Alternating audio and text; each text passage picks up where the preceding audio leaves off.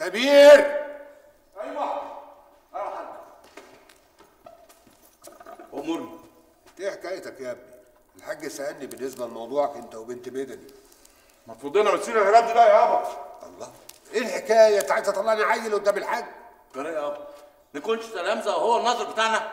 يا ابني افهم الكلام صح. الحاج ده كبير البطنية كلها وهو اللي بيراعي مصالحنا. على رأسي من فوق يابا بس ما يدخلش في اللي ملوش فيه. هو ماله باللي حصل بيني وبين البيت؟ هو يعرف بيني وبينها إيه؟ ناقص كمان يجيب لي كل الحريمه اللي اعرفها ويوقفهم لي طابور واحدة واحدة ويقول لي اكتب عليهم. يعمل إيه بقى يا ابني لابوها بوز الاخس اللي راح اشتكى له واتحمى فيه؟ يا سلام يابا دلوقتي إحنا هنمشي أوامره ويتهز مالنا في السوق. يابا يابا دي الناس كانت تاكل وشنا. يا ابني يا حبيبي محدش هيعرف حاجة. وبعدين في حاجة مهمة لازم تعرفها. ما دام الحاج خد خبر بالموضوع يبقى هننفذ. يعني هننفذ. ده سلونا يا ابني. يابا. يابا حرام عليك يابا. ده سلوكم انت لكن أنا من جيل. وأنتوا من جيل تاني. بلاش يا ابني العند ده. إحنا مش ناقصين غضب العقاد علينا. يابا عيب الكلام اللي أنت بتقوله ده. زي ما هو معلم كبير. فأنت معلم كبير. يعني راسك براسه. إحنا هنخاف منه. وعين هو فاكر نفسه إيه؟ صدقني يا ابني إحنا مش قده. وديك عارف اللي حصل لحنفي. لما حاول يقول تلت التلاتة كام شوف إيه اللي جراله أو اترمى في السجن في قضية مش هيطلع منها إلا على ظهره. ياه! يعني كل اللي حصل ده لحنف أبو قطر؟ حصل بإيد العقاد؟ أمال إيه يا ابني؟ عشان تعرف إن الحاج إيده طايلة. وأنت متأكد يابا إنه قال لك ممكن أطلق البت دي بعد كده؟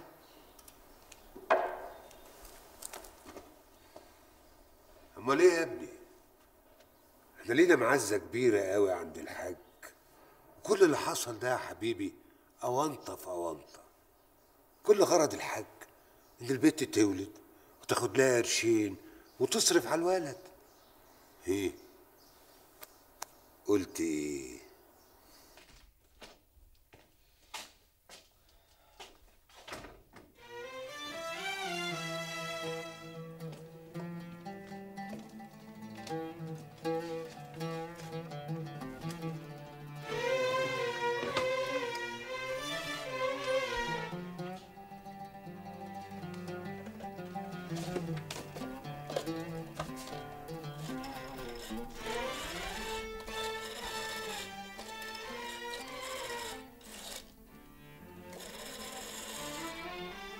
ألو؟ انسه مروه موجودة؟ ملازم علاء ازيك يا زنوبه تسلمي من كل رب يا ست مروه بقول لك إيه؟ استنى. في واحد ظبط طلبك ست بهيجة قالت لي ما تجيبش سيرة قدام الحاج. طيب ومين رد عليه؟ أنا اللي رديت عليه في الأول. بعد كده ست مامتك هي اللي كلمته. وهي فين ماما دلوقتي؟ في المطبخ. طب روحي انتي. ماشي.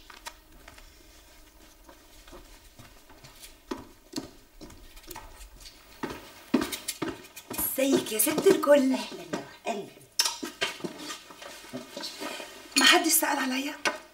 آه في الواد الظابط ده سأل عليكي علاء يا بنت وأنا بقول لك رشدي أباظة. قاذف تدين علاء. قلت له إن انت لسه في كليتك ما رجعتيش. طيب ما قالش هيتكلم إمتى تاني؟ ما قالش. إزيك يا انسه مروه أخبار المذاكرة إيه؟ طب الحمد لله. بص يا ستي حبيت أبلغك بس إن سعد بيه كلم السيد مدير الإدارة. هو بيعتذر في الحقيقة. هيكون مشغول شوية. مالك اتخضيتي كده ليه؟ سعد بيه هينوب مكانه. يهمك أنا كمان أكون موجود؟ هشوف ظروف شغلي إيه. اللي تشوفه يا حضرة الملازم. ولو إن الندوة دي هتبقى مهمة قوي أكيد هتستفيد. لا أنا مش قصدي أنا قصدي هتستفيد في شغلك. ما تخلصي يا بنت بقالك ساعة بتتكلمي في التليفون ابوكي زمانه جاي. ها أيوه يا علاء. قصدي حضرة الملازم. في حاجة تانية تحب تضيفها؟ طيب أوكي. مع السلامة. إيه في إيه يا ماما؟ ما حضرتك عارفة أنا بكلمه ليه؟ بصراحة بقى أنا مش مستريحة للموضوع ده. موضوع إيه؟ موضوع اختلاطك بالناس دول. أنا مش فاهمة. مالهم بس الناس دول؟ اتفضل يا مولانا اتفضل. المغلق كله نور. في الأفراح على طول إن شاء الله. اتفضل. هو مين اللي هيتجوز يا سيبارة؟ انت مالك يا بنت؟ خليكي في حالك وحسك عينك. الباب ده يتفتح علينا طول ما الراجل ده جوه. فاهمة؟ فاهمة. اتفضل يا مولانا.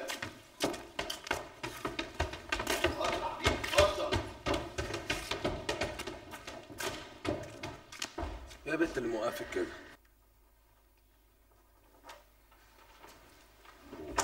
بركة فيك يا حاج.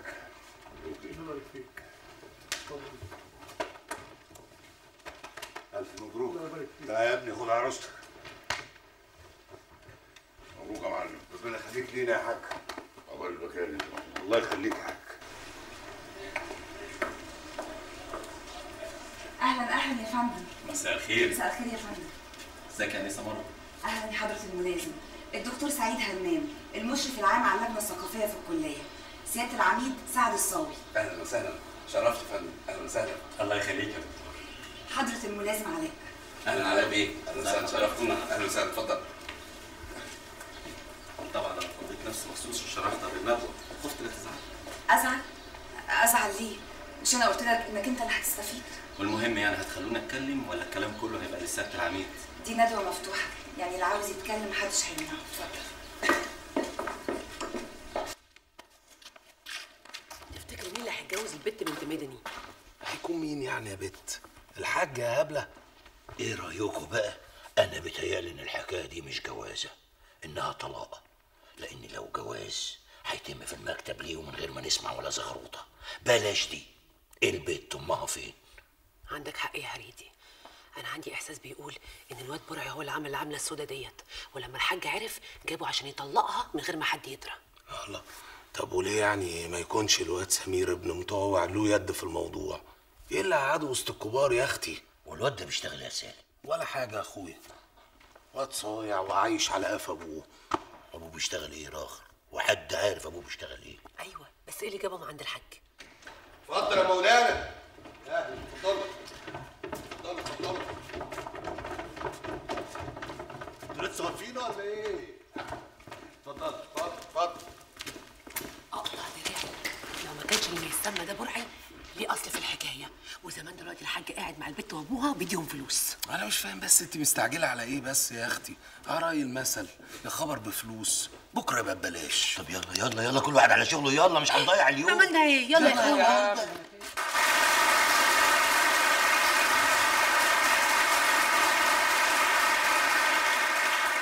وزي ما إحنا عارفين مخدرات هي جمع لكلمة مخدر. والمخدر مهما كان فهو بيستخدم كعلاج وقتي إذا استخدم في الطب بنسب معينة.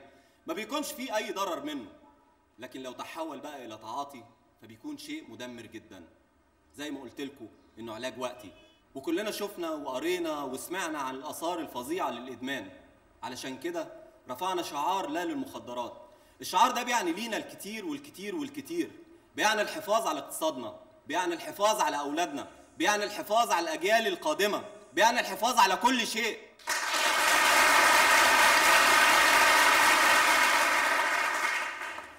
ودلوقتي هنشوف الأسئلة اللي أنتوا بعتوها وهيقوم سيادة العميد سعد الصاوي وحضرة الملازم علاء بالرد عليها.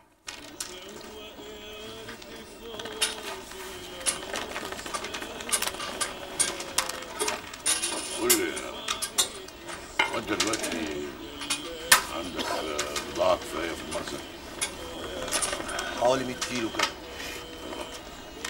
كأن أنت هتحتاج بضاعة جديدة بقى. آه، في الحقيقة يا حاج لازمنا سفرية. سفرية إيه بس؟ أنا مش محتاج خشب. وبعدين أنا بقول إن كان اليومين دول شوية. إيه ده؟ هو الموج عالي شوية؟ براعي خلينا في السليم أحسن. على رأيك يا حاج. هو كان جه لمارو عريس؟ إيه ده؟ انت مين؟ يا حاج في حاجة برضه تستخبى عني ولا إيه؟ يبقى انت بقى مش عايزنا نفرح معاك. لا مش الغرض. بس أصله بصراحة ربنا البت مش عايزة تتجوز. فعلا. هي غاوية عليا عندك حق. ومش بس كده البت دي غالية عندي قوي. عشان كده أنا مش عايز اغصبها تعمل حاجة غصب عنها ابدا.